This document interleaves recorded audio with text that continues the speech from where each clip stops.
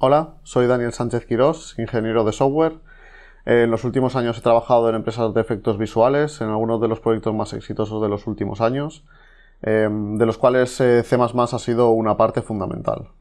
Vamos a hablar de lo que son eh, templates parciales o cómo podemos, cómo podemos eh, gestionar aliases junto con templates para crear nuestros propios tipos de datos.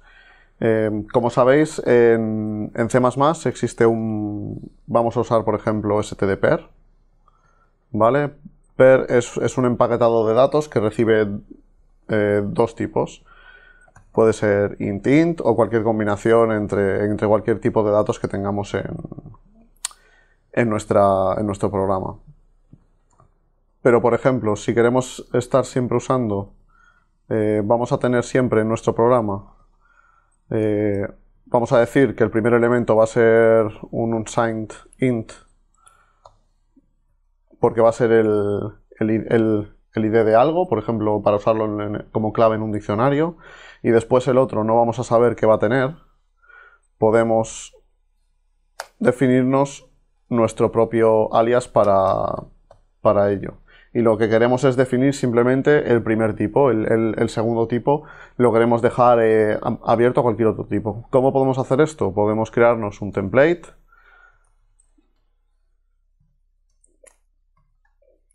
el, segundo tipo va a ser una clase value y decimos que vamos a hacer un alias using vamos a llamarlo idper y vamos a decir que idper es un std per cuyo primer elemento va a ser de tipo un int y cuyo segundo elemento lo vamos a dejar abierto, va a ser un value.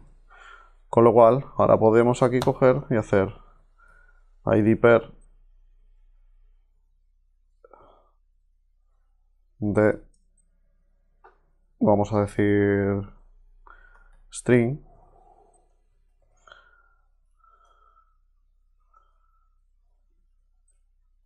y le vamos a pasar el ID, vamos a decir que es el 1 y el nombre un string